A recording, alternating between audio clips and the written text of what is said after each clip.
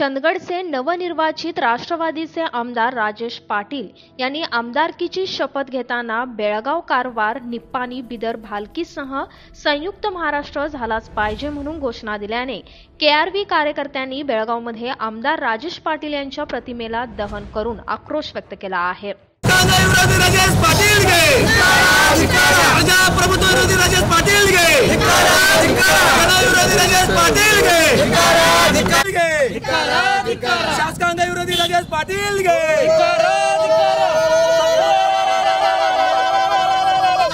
राष्ट्र विरोधी राजेश पाटील गे संविधान विरोधी राजेश पाटील गे प्रजाप्रभुत्व विरोधी राजेश पाटील गे सेंट झेवियर्स शाळेसमोर आमदार राजेश पाटील यांची प्रतिमा दहन करून केआरव्हीचे गौरवाध्यक्ष आनंद बडिगेर यांनी आक्रोश व्यक्त केला.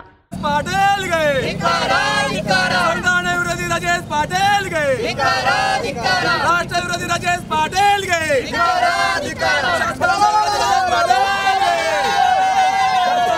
ರಾಜೇಶ್ ಪಾಟೇಲ್ಗೆ ಪ್ರಜಾಪ್ರಭುತ್ವ ವಿರೋಧಿ ರಾಜೇಶ್ ಪಾಟೇಲ್ಗೆ.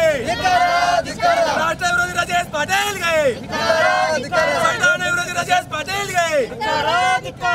ವಿರೋಧಿ ರಾಜೇಶ್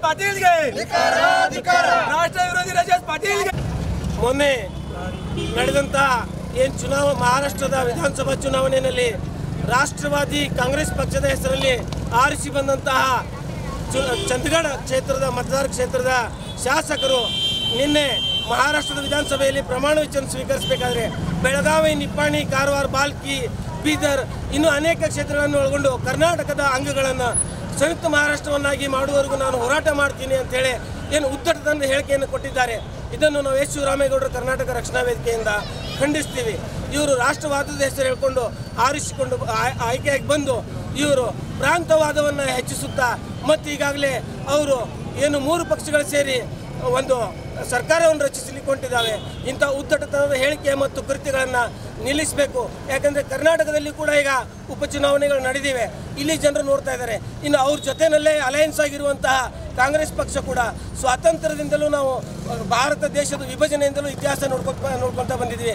ಅಧಿಕಾರಕ್ಕೋಸ್ಕರ, ಸ್ವಾರ್ಥಕ್ಕೋಸ್ಕರ ದೇಶವನ್ನು ನಾನಾ ಭಾಗಗಳಲ್ಲಿ ವಿಭಜಿಸಿದ್ರು ಇಲ್ಲಿ ಕೂಡ ಜಾತಿ, ಭಾಷೆ ಹಾಗೂ ಪ್ರಾಂತೀಯತೆಯನ್ನು ಇವರು ಹುಟ್ಟು ಹಾಕಿ ಅದರ ಬೆಂಕಿಯಲ್ಲಿ ಆ ಬೆಂಕಿಯಲ್ಲಿ ತಮ್ಮ ಬೇಳೆಯನ್ನು ಬೇಯಿಸ್ಕೊಳ್ಳುವಂಥ ಕೆಲಸ ಆ ಪಕ್ಷ ಕೂಡ ಮಾಡಬಾರ್ದು ಇಲ್ಲದೇ ಇದ್ದಲ್ಲಿ ಮುಂದಿನ ಚುನಾವಣೆಗಳಿರಲಿ ಬೀದಿ ಬೀದಿಗೆ ಇಳಿದು ಕನ್ನ ಕನ್ನಡಿಗರು ಮತ್ತು ಇಡೀ ರಾಷ್ಟ್ರಾದ್ಯಂತ ಏನು ಈ ಒಂದು ನಮ್ಮ ಒಕ್ಕೂಟ ವ್ಯವಸ್ಥೆಗೆ ಧಕ್ಕೆ ತರುವಂಥ ಕೆಲಸ ಈ ಪಕ್ಷದ ಕಾರ್ಯಕರ್ತರು ಮುಖಂಡರು ಮಾಡ್ತಾ ಇದ್ದಾರೆ ಇದನ್ನು ನಿಲ್ಲಿಸಬೇಕು ಇಲ್ಲದೇ ಇದ್ದಲ್ಲಿ ಉಗ್ರ ಹೋರಾಟದ ಎಚ್ಚರಿಕೆಯನ್ನು ನಮ್ಮ ಎಸ್ ಶಿವರಾಮೇಗೌಡರು ಕರ್ನಾಟಕ ರಕ್ಷಣಾ ವೇದಿಕೆಯಿಂದ ನಾವು ಇವತ್ತು ಕೊಡ್ತಾ ಇದ್ದೀವಿ बेळगावमध्ये सर्व बांधव एकजुटीने राहतात पण संयुक्त महाराष्ट्राच्या घोषणा देऊन यामध्ये फूट निर्माण करण्याचा प्रयत्न केला जात आहे.